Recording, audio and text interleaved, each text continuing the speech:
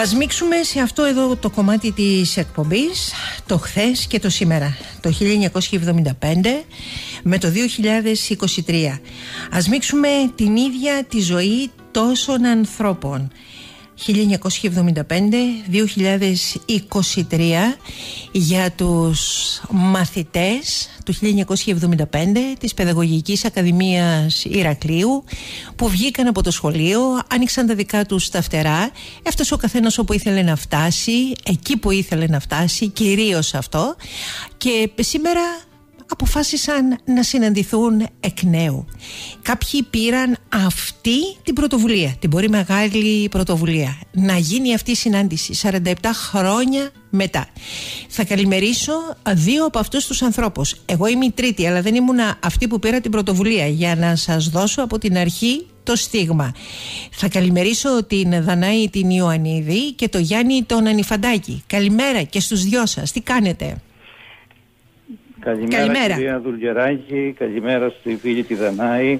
Ευχαριστούμε πολύ για την πρόσκληση και για την ιδέα που είχατε να δημιουργήσετε αυτή την πολύ όμορφη και συγκινητική στιγμή για όλους εμάς που τότε αποφυτίσαμε από την ιστορική Παιδαγωγική Ακαδημία του Ηρακλείου. Η ιδέα βέβαια έχει ξεκινήσει από άλλους ότι έχει να κάνει με αυτή την συνάντηση, με αυτό το μάζωμα κυρία Ιωαννίδη, έτσι δεν είναι; Ε, η επιθυμία υπήρχε όλα τα χρόνια. Καλημέρα καταρχήν δεν Καλημέρα.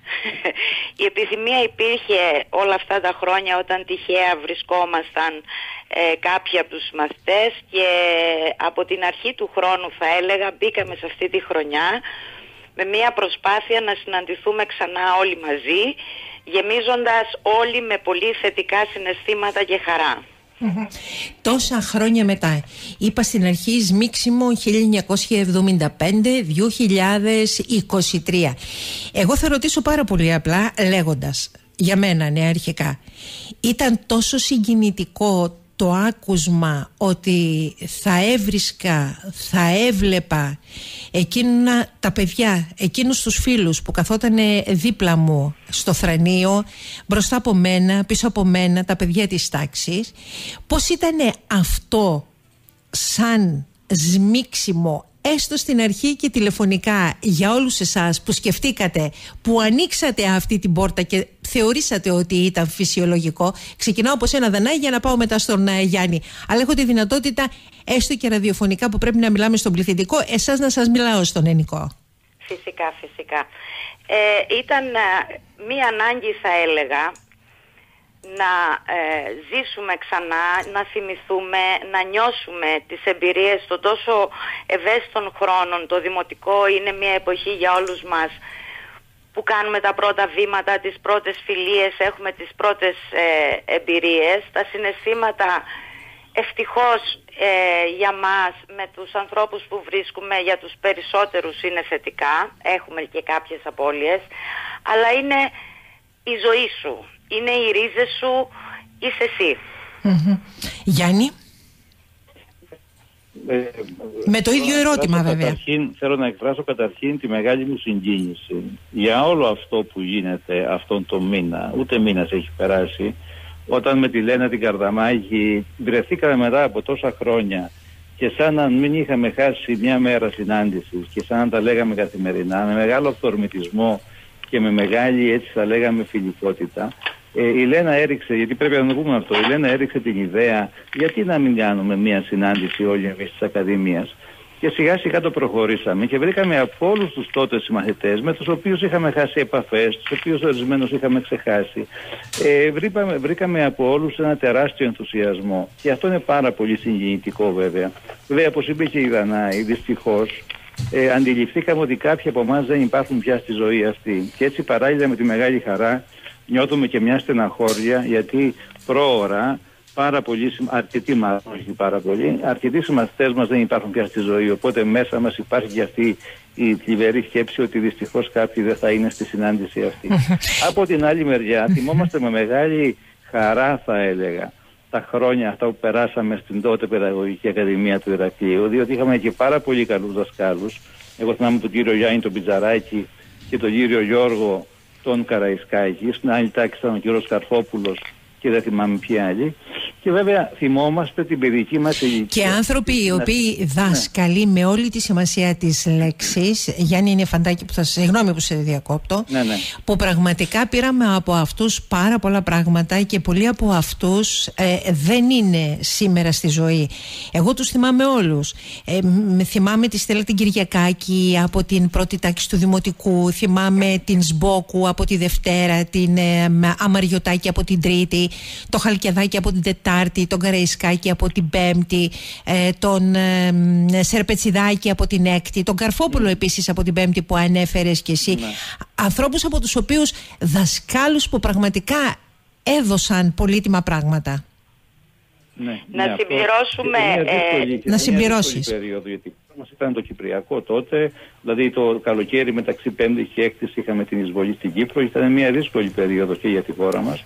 Αλλά θυμάμαι τον Γιώργο τον Καραϊσκάκη, ο οποίος μας εμψύχωνε. Τότε μας έκανε την ιστορία του 21 και το θυμάμαι σαν σήμερα πώς μας περιέγραφε τις ορολογικέ πράξεις των ηρώων του 21. Αλλά, εν πάση περιπτώσει, έχουμε την ευκαιρία να δούμε παλιές φωτογραφίες. Καθένας ανεβάζει στα κοινωνικά δίκτυα τις δικές του, βέβαια σε μια ιδιωτική ομάδα που τη βλέπουμε μόνο εμείς. Και ε, ξανα, ξαναχτίζομαι πάλι την δυναμική και τις παρέες που υπήρχαν τότε. Και θυμόμαστε βέβαια, εγώ τουλάχιστον θυμάμαι με πολύ μεγάλη ευκρίνεια τις κουβέντες που έκανα μες συμμαθητές στο διάλειμμα και μέσα στην τάξη. Και είναι πάρα πολύ συνηγητικό όλο αυτό και μας θυμίζει, αυτό είναι το σημαντικό σε αυτές τις ε, συναντήσεις, μας θυμίζει μια ευχάριστη περίοδο της ζωής μας. Διότι ας μην ξεχνάμε ότι το μυαλό μας θυμάται μόνο τα θετικά και τα όμορφα. Τα άσχημα προσπαθεί να τα βάλει λίγο στην άκρη για να μην επηρεάζουν αρνητικά την καθημερινότητά μας. Δαναή, αυτό που ήθελες να προσθέσεις; Ήθελα να αναφέρω στους ε, δασκάλους μας και τον κύριο Κυπριωτάκη, ο οποίος ήταν στη Δευτέρα κατόπιν καθηγητής Πανεπιστημίου και να πω ότι τότε στην Παιδαγωγική Ακαδημία γινόταν μια επιλογή άξιων δασκάλων και επίσης είχαμε την ευκαιρία να διδαχτούμε και από τους φοιτητές, διότι τότε η εκπαίδευση των δασκάλων γινόταν στην Παιδαγωγική Ακαδημία. Σωστά. Έτσι, εγώ θα αναφέρω επίσης και τον ε, Θανάση τον Τζακυρίδη που ήταν ο γυμναστής μας ε, και επίσης τις επιρροές που είχαμε από όλους αυτούς τους ακαδημαϊκούς μέσα στο δημοτικό. Μιλάμε το 2023 για το σμίξιμο πόσων συμμαθητών; Νομίζω είμαστε γύρω στους 27 αυτή τη στιγμή που έχουμε βρεθεί. Ας με διορθώσει κάποιος αν ξέρει κάτι άλλο. Εγώ δεν το ναι, ναι θυμάμαι το νούμερο θα αυτό. Στη συνάντηση θα κάνουμε, θα κρατάμε το απουσιολόγιο στη συνάντηση να, να δούμε το τελικό λογαριασμό γιατί ας το, ας το πούμε ότι θα κάνουμε δύο συναντήσεις, μία το Σάββατο το βράδυ μια προκαταρτική συνάντηση έτσι να ξαναειδωθούμε όσοι δεν βλεπόμαστε στα ενδιάμεσα χρόνια. Δεν αναφέρουμε και, ωστόσο ναι, τόπο που θα γίνει η συνάντηση. Και μια πιο έτσι επίσημη θα λέγαμε στις 17 του Φλεβάρι ε, όπου θα, θα είναι προκεκλημένοι και ελπίζουμε να βρεθούμε με όλους όσους μπορούν να έρθουν. Αυτούς οι οποίοι διαμένουν στην Κρήτη, ε, σε, σε, κάθε γωνιά της Κρήτης, όπως επίσης και εκείνους οι οποίοι έχουν ανοίξει αλλού τα φτερά τους, δραστηριοποιούνται σε άλλες περιοχές ε, της χώρας είναι τουλάχιστον όσοι έχουν βρεθεί ε, όλοι διατεθειμένοι να βρίσκονται σε μία από αυτές τις ε, δύο συναντήσεις μέσα σε αυτό το μήνα και τον άλλο μήνα έτσι ώστε να κάνουμε αυτό το, ε, το, το σμίξιμο. Η συγκίνηση, η θύμηση είναι το ένα, είναι όλα εκείνα τα συναισθήματα που είχαμε από εκείνη την εποχή ως παιδιά με άλλες συνθήκες μέσα στις οικογένειες, με άλλες συνθήκες σε αυτό το περίφημο status quo Γιάννη, έτσι και Δανάη. Ναι, ναι, ναι. Έτσι είναι. Και παράλληλα βέβαια θυμόμαστε και τις οικογένειές μας, διότι τότε σαν παιδιά του Δημοτικού πηγαίναμε στα σπίτια των συμμαθητών μας, των συμμαθητεριών μας, συμμαθητεριών μας θυμόμαστε τα γενέθλια, θυμόμαστε τα πάρτι, θυμόμαστε τους γονείς τους γονείς μας και είναι επίσης και αυτό πολύ συγκινητικό διότι και αυτοί οι άνθρωποι, οι γονείς δηλαδή των συμμαθητών μας και των συμμαθητεριών μας επίσης μας έδωσαν κάποια στοιχεία και θυμόμαστε και αυτά με πάρα πολύ μεγάλη αγάπη. Ε, ενδεχόμενα ίδια πατήματα και εσείς στη ζωή σας ακολουθήσατε στα δικά σας τα παιδιά. Δηλαδή με το να διατηρηθούν αυτές οι σχέσεις θα ρωτούσα ξεκινάω από σένα Δανάη έτσι όπως εσύ ως παιδί έζησες αυτές τις σχέσεις με τις φιλικές με τις οικογένειες των δικών σου των συμμαθητών, συμμαθητριών; Ναι, ναι, ε, σίγουρα έγινε αυτό γιατί οι εμπειρίες στην παιδική ηλικία μας καθορίζουν λίγο πολύ και σαν γονείς όταν έρθει η ώρα μας και εγώ θα πω ότι όχι μόνο για την οικογένειά μου, τα παιδιά μου και το, την έννοια της φιλίας και το σεβασμό ε, στους συνεργάτες στο μέλλον όπως και στον ε, σεβασμό αλλά ε, μου, έδωσαν, μου έδωσε η Ακαδημία, η διδασκαλία αυτών των δασκάλων και πολύτιμα εφόδια στην κατοπινή επαγγελματική μου ζωή το οποίο ήταν για μένα εξαιρετικό. Θεωρώ ότι ε, η εκπαίδευσή μας δεν ήταν μόνο στο να μας μεταδώσουν ε, τη γνώση μέσα από το βιβλίο, αλλά πραγματικά αναπτύξαμε δεξιότητες ζωής. Mm, Γιάννη, αυτό... Α, ναι, να, να ολοκληρώσεις, σου ναι, ζητάω ναι, συγγνώμη. Είναι, είναι εντάξει, είναι εντάξει. Ναι, Ευχαριστώ. συμφωνώ απόλυτα με αυτά που λέει η Δανάη. Και αυτό μπορούμε βέβαια να το, να το αξιολογήσουμε τώρα, διότι τότε και επειδή και λόγω της ηλικίας, αλλά και λόγω του ότι δεν είχαμε γνωρίσει τη ζωή, δεν μπορούσαμε να καταλάβουμε την αξία αυτών που μαθαίναμε, αυτών που βλέπαμε και τους συναισθηματικού αν θέλετε ε, ε, βάθους των δασκάλων μας. Εγώ αυτό θυμάμαι, το συνέστημα που μας μετέφεραν οι δάσκαλοι μέσα στην τάξη και την προσωπικότητά τους. Διότι τα μαθηματικά, η γεωγραφία, όλα αυτά εντάξει τα μαθαίνεις όπου και να είσαι.